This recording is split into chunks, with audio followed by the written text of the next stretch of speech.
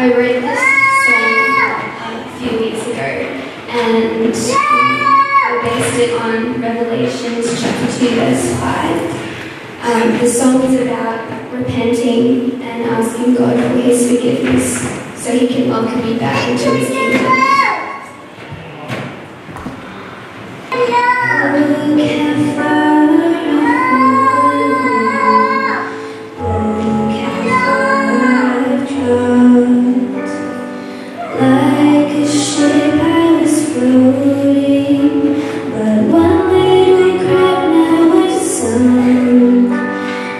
turned away.